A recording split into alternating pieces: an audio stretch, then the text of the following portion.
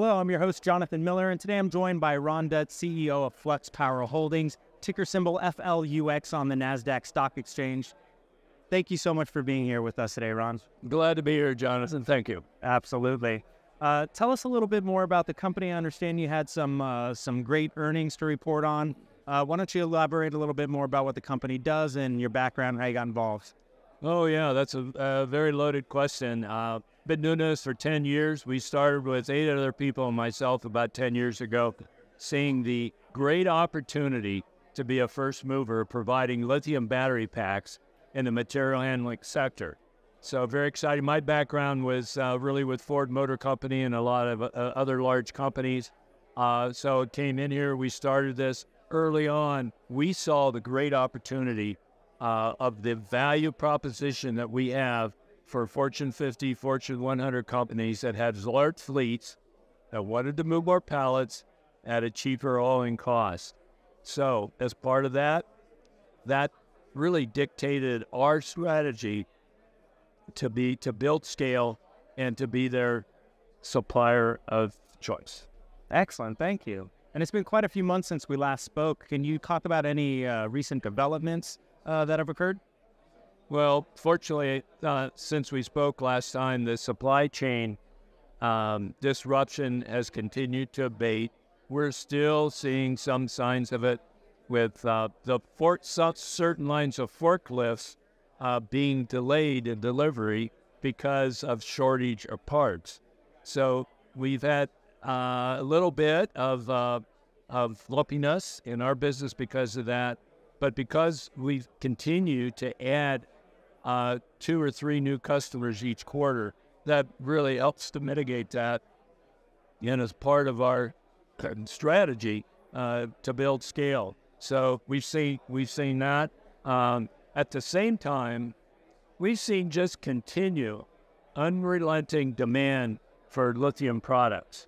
Uh, the customers now have, have come to see that the value proposition for these big fleets is there if you look at some of our customers, um, you see they've been um, well vetted, and and they see the the the cost benefit uh, equation uh, for that. So we have a number of new household names in our pipeline. We're not ready to talk about being public. We have to be very careful on on disclosures, but it's a particularly exciting time uh, to be in this segment and in this market. It absolutely is. With everything going electric, I'm sure it's uh, very busy for you.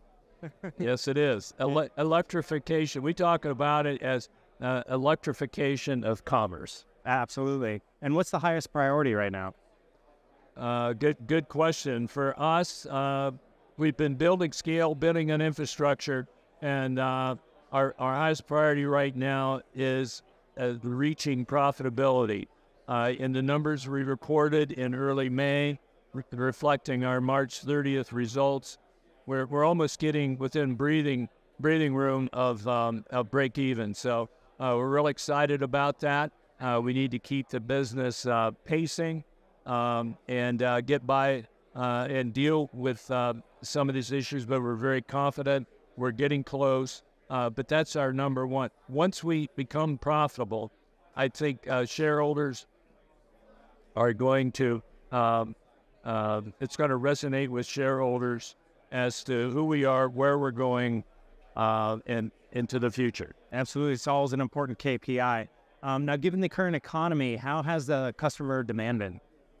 You know, this, you know, the economy, it's, it's funny. If you're in the right part of the con- uh, economy, it's good. And and uh, the world that we're in with forklifts and airport ground support equipment are are still very robust. The demand's there, um, and we see as long as we don't uh, have uh, supply chain issues, that that demand is there. In fact, the demand is so much that we we have received some uh, quote letters of intent for certain large customers to protect orders out for the next couple of years. So that's that's we've never seen that in in in our history. So that portends very well of the current state of demand.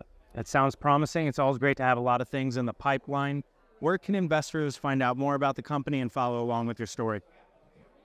You know, our website, fluxpower.com, really has a lot of information there. It has an investor uh, relations section with our uh, PowerPoint presentation uh, and other blogged information um, and material information as well. Our investor relations group, MZ Group, is also available uh, to help investors um, uh, recharge story.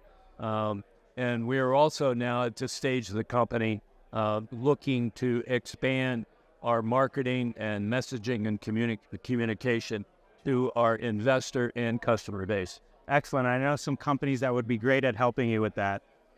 Companies Flux Power Holdings, CEO Dutt, thank you so much for being here today. Thanks, Jonathan. Thanks so much.